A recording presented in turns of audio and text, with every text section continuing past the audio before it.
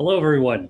It's a pleasure to be here, and uh, it's a real honor to actually join such a esteemed group of faculty uh, for the real truth about health. Um, I'm Dr. William Li. I'm a physician, scientist, author, and uh, and I study food as medicine.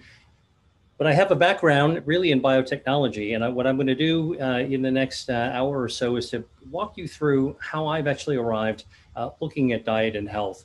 And in terms of real truth, uh, what I do is I follow biology, I follow physiology, I look at pathology because that's actually how we actually um, really do uh, uh, medicine and try to discover things with medicine. So um, I'm going to actually uh, uh, start by sharing with you um, uh, the background of my um, world of eating to beat disease.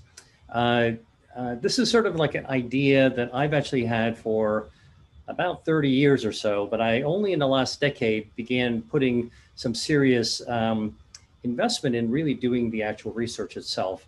And what I've discovered about food and health is um, it's not just about the food, which is what we always hear uh, about, you know, a superfood or a super supplement. It's really about how our bodies respond to what you put inside it. When you put something good inside it, our bodies respond in beneficial ways. When we actually put something harmful inside it, not surprising, it responds in negative ways. So, what I'm actually going to share with you is sort of a, a, a, a slightly different way of looking at diet and health and nutrition, um, but from the lens of, of really how we actually uh, design interventions in medicine. So, uh, without further ado, let me just kind of introduce the concept of food as medicine. Most of us have heard about this, but the real question is um, where does this idea come from? Uh, most people will attribute the term food as medicine or let food be thy medicine to Hippocrates, and that attribution is correct. Uh, it's only an attribution. We don't really know if Hippocrates said it, um, but I will tell you that in the time of Hippocrates, there were no sophisticated medicines. And so food was viewed very much as part of uh, how we actually healed ourselves and stayed healthy. And that's really the spirit of it. Um, this has got a long history uh, behind it. But what's different now is that we actually have science.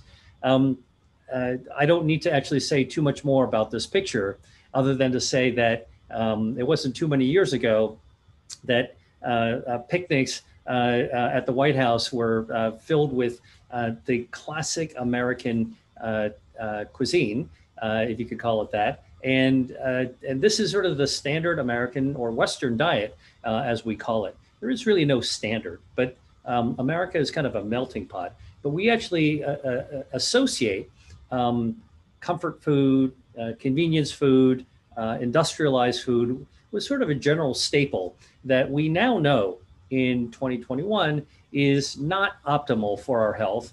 And we're beginning to actually figure out not just that plant-based foods are better for you or that seafood with omega-3 uh, fatty acids are beneficial for you, but really why are they beneficial? And that's really the the I think the the key point of what I want to make is asking the whys, not just the what, but the whys. And then there's also the hows. So um, this is actually uh, from an editorial written by my friends and colleagues, uh, uh, Dr. Dariush Mozaffarian, who's the dean of the Friedman School of Nutrition at Tufts, and Dan Glickman, who is a former Secretary, U.S. Secretary of Agriculture, and they remarked um, uh, in 2019 that the food that we are actually promulgating is actually contributing to our bad health, and it's a leading cause of mortality. So, you know, uh, uh when you look at a statement like this, it's really hard to internalize it because a broad statement may not feel like it applies to you. Uh, and what, what I want to share with you is that is something that has happened to us that's really made us reconceptualize our health. Now, this is actually a image taken from the 1600s, uh, a painting of, uh, of, a, of a family uh, uh, in Venice, Italy, uh, where the Great Plague of Northern Italy swept through parts of Europe. And in Italy, people were seeing um, folks dying out in the street they had no idea what was going on. So they all ran into their houses, homes or stone homes. They locked themselves in. They were afraid to go out and they were all waiting for the town crier to tell them it was safe to go back out into the village square again. doctors were wearing these um, long beak-like masks. They were masked, and inside the mask was herbs that actually smelled um, nice. They didn't smell like death. Um, there was oregano, there was thyme, there was rosemary, um, uh, frankincense. These were the herbs to really mask the smell of death. But the doctors didn't really have a good understanding of what was happening either. And they milled around from family to family, tending to the ill, um, trying to minister to them the best they could. And yet people were still dying. So there was a lot of fear around. If any of this sounds familiar to you uh, from our experience, collective world experience from last year, um, uh, this is exactly the image I thought of when the lockdown happened in, in March 2020 um, as the World Health Organization declared a pandemic. We had no idea what was happening in the uh, emergency rooms and the ICUs. We all had to lock down. We're not sure what to do. There was an order to wear a mask, but we didn't really understand the the the the phone, uh, forms of transport uh, of of um, uh, transportation of the virus, and um, people were uh, either well or they were sick or they were dying, and we didn't really know who what was going on. So, what was amazing to me was that in 2020 and 2021, we were in the same situation that people during the Renaissance and even before that, during the medieval era, were in, which is vulnerable to illness. Um, there, there was and still is very few um, uh, interventions for COVID 19. As there were back in the plague, there was nothing to do uh, for the plague. And so here is uh, humankind um, uh, vulnerable to diseases that can actually spring up outside of the body as well as inside of the body. Those are the chronic illnesses um, that we talked about, the non communicable diseases. And we don't have all the answers. And so people just don't know what to do. Well, in uh, uh last spring in 2020, I decided that we actually did have something to our advantage, and that was science. And because I'm a scientist, I'm a vascular biologist, um, I wound up actually trying to figure out what I could do as a scientist to get at the bottom of this. And you're going to say, what does this have to do with eating to beat disease? Um, I want to actually tell you a little story now of my journey within the last year and how I brought my career uh, experiences through this to really try to help understand what was going on with the pandemic. And in so doing, having a, a sort of some doors open and light bulbs go on um, in terms of how we can actually um, do better to eat to beat um, uh, disease. Now, I'm showing you um, a, a partial list of things that were available to us in 2020 that we were looking for uh, uh, to be able to treat COVID. Vaccines, which only became available in 2021, antivirals, steroids, uh, anti-inflammatories, and monoclonal antibodies. What are we missing here? What are we missing? We're actually missing food.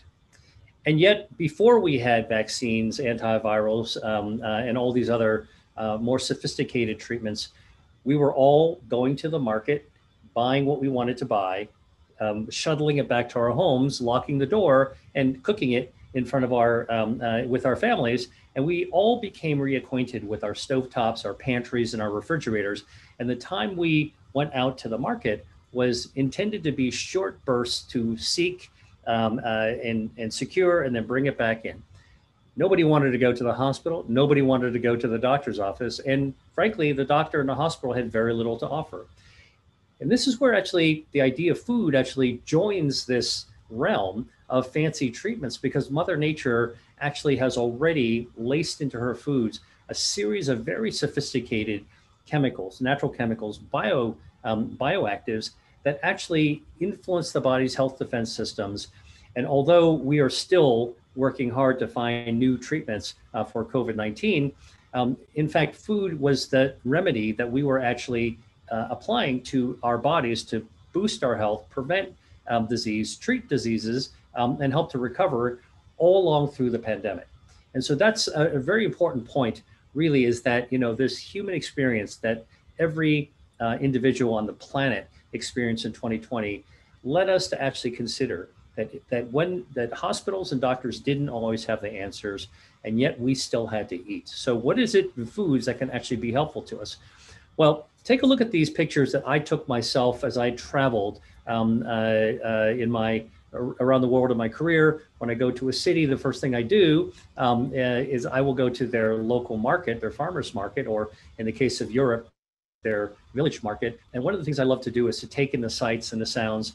And the sights are colors. I mean, look at these beautiful colors. This is Mother Nature's cornucopia rainbow. Uh, and the rainbow of fruits and vegetables reflects the, uh, the diversity of bioactives that are actually present in these foods. Uh, foods. In fact, most of the natural dyes that, that lead to these colors are in fact bioactives that help the plant uh, to um, give it the plant some survival advantage, whether it's a natural insecticide or uh, an attractant for pollinators uh, to come spread um, uh, the, the, the, pollen. Um, but when humans actually made that step to pick up that food and eat it, those plant-based bioactives had a new job description. And that job was actually interact with human cells because they have no choice.